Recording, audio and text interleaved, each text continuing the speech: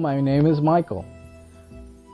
Um, I was 48 years old and had not been feeling well for possibly six months. And learning that I had diabetes was was just a real shock to me. I everyone else that knew me uh, would say, "Well, your whole family has diabetes. Why is it such a shock to you?" But being healthy or thought I was healthy at the time and I was always physically active. I ate well, um, didn't have many vices. Uh, for me to have diabetes was just not possible, but it was a very, very shocking um, situation. And I also, I was ex extremely ill at the time. I, I was beginning to waste away uh, because my body was just not uh, producing any nutrients at all um, because of the diabetes. So I lost a lot of weight and uh, I, I just felt horrible, horribly sick.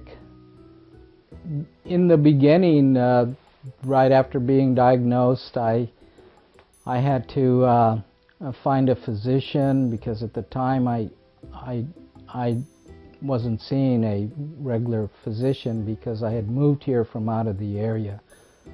Um, and uh, along with that was uh, attempting to learn what a diabetic diet was, what I could and couldn't eat.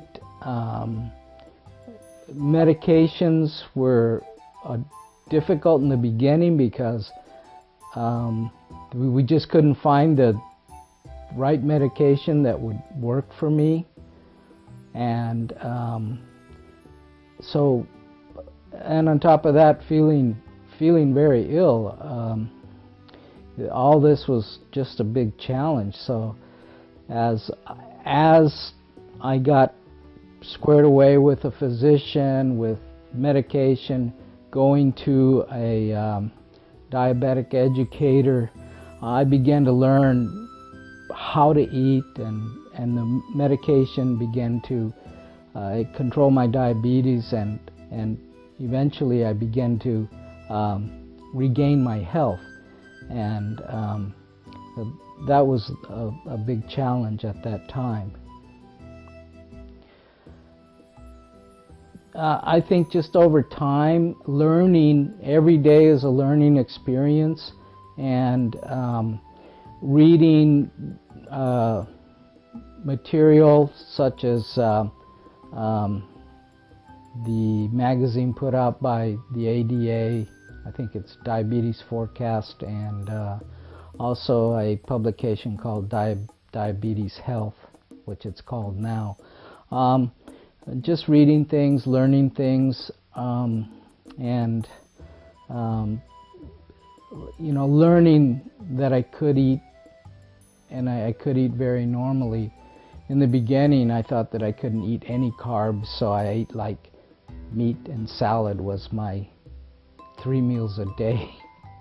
Uh, um, actually, what's probably helped the most is being going back to seeing a diabetic educator and and at the time I had to do this on my own um, my physician really although he was in tune with my care he didn't he never really recommended that I go see you know somebody um, so through the through seeing a a diabetic educator from time to time uh, helped because it gave us an eating plan. I, I, say us because my wife would go to any appointments with me. Um, so it gave me an eating plan. It, it, it, opened up areas that I didn't know about. And um, so, you know, that's helped me a lot. And I think that now I utilize a diabetic educator more than ever uh, because I, I really feel that that's my connection between how to manage my, my uh, diabetes. Um, from there, I'm able to give information to my physician, and that my physician listens to me, and therefore I'm able to, to treat my diabetes in a healthy way. I did experience fear. Um, as I mentioned earlier, my whole family has diabetes. Um, my father died of diabetic complications at the age of 56.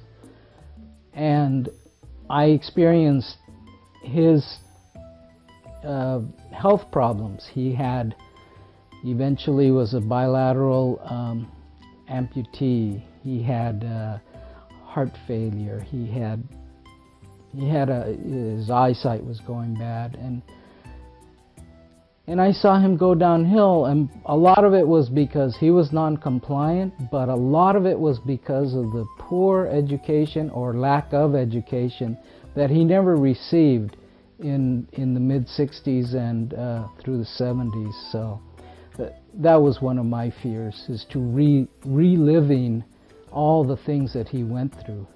I also experienced um, I, I went through a bout of depression that I I didn't know was there until my wife was able to open my eyes about it. And then through the the diabetic educator educator that I was seeing uh, she recommended someone here in the community and um, seeing him uh, helped me get over that period um, of depression at that time.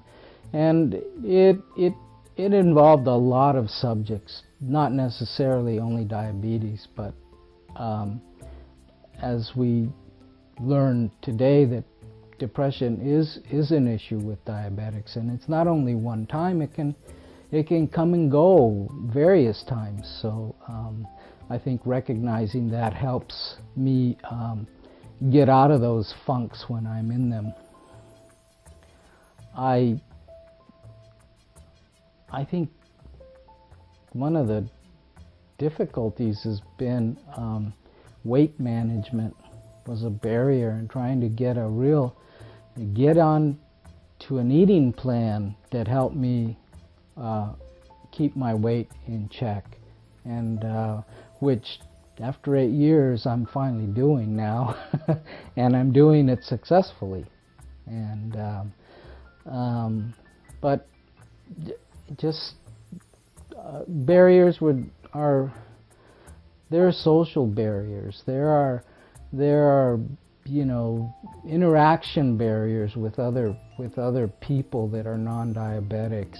Um, the just the routines and, and everything that the day in day in and day out uh, life that we live as diabetics um, sometimes can be a barrier in itself. It's just being a, a, able to deal with that on day in and day out. But I say right, I say that now um, I I don't um, I don't feel that I have uh, my barriers are minimal. I think when something isn't working well and I have to change medications, that that really puts me through the wringer because I uh, I'm very sensitive to medications and I it takes me a, a, a, while to to really adapt to one or one that fits me um, and um, that's one of the complexities also um, sometimes um, I, the, the way I feel through the course of the day and when I have to eat. Um, I, I have breakfast early in the morning around 7 o'clock. By 10 o'clock, I have to have a snack. It doesn't matter where I am, I have to have something. So, and by noon, I have to have lunch. Um, and those are my critical periods uh, by the late afternoon, I can have a, a snack of, of a an apple or uh, a granola bar or something like that. But I feel fairly well, and I can have dinner at, at a late hour at sometimes. Um, but it's it's that morning to noon period where I just feel so fragile, and and if I don't have my food sources, um, I start to go downhill real quick, and uh, and it's, it's it's nothing that anyone else can or non-diabetic can experience, um, and even another diabetic may not have the same reaction as I do, but it's a it's a real real thing, and uh, um, along with that, I can have the you know irritableness and things like that, and I, um, which I don't like to to bark at my wife or other people when I'm in those lows, but um, I, that's one of the things that really is is really critical with me, and um, and it doesn't change. It's it's there, you know, and uh, so I I I have to deal with that every day. Um, I, well, a lot of it is the support of uh, my family and other peers that are, are diabetic and non-diabetic, recognizing that I, that I am a diabetic, and they don't try to sh shoo me into the closet. We're, they're pretty open about it, and as as well as I am. And um, of course, having a good understanding and a um, communicative rapport with my physician, and also um, being able to see uh, my uh, diabetic educator on a, a regular basis, uh, which I've done this year, um, that's been very successful. And also um, um, oh, just just following, adhering to, I'm going to call them the diabetic rules of testing, taking medications regularly, uh, exercising, um, getting good good rest, um, having enjoyment times, and uh, um, taking diabetic holidays, which which I I do sometimes, uh, usually on a Saturday, um, and and and knowing that uh, diabetes, the research is changing on a daily basis. Not that I'm going to be cured of diabetes. That isn't what I'm seeking, but I just uh, know that I can live a long and healthy life and be um, happy and I can feel well and be a diabetic.